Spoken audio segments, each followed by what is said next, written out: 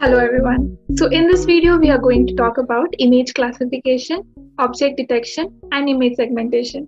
So uh, image classification, the term itself tells that it, it, it will be classifying the image. It will tell us that what image is present, what object is present inside our image, right? If you give the this image, which is a dog, to a image classification model, yeah, it will tell us that yeah, it is a dog. It will classify it as a dog now here comes uh, a, a trick where we have more than one object in a single image.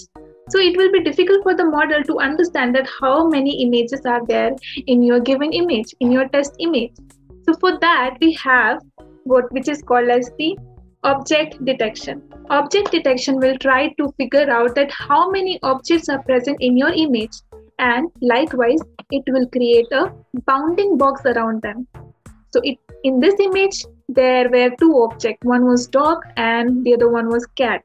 So the object detection will try to create a bounding box um, uh, across all the object that is present inside your image. All right. Now what is segmentation then? So segmentation uh, it tries to collect the all similar pixel and try to create a mask. Okay so if you can see here you can see different dogs it has masked in such a way that we can see the exact shape of those dogs and it will be very easy uh, for a model to identify based on this mask to categorize which object it is. So this this phenomena is called as the mask masking in which is done by image segmentation.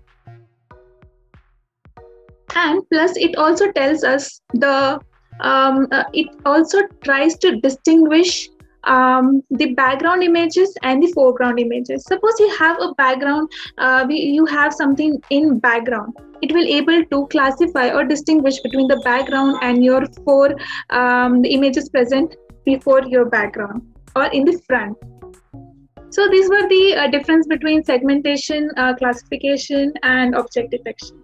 Thank you.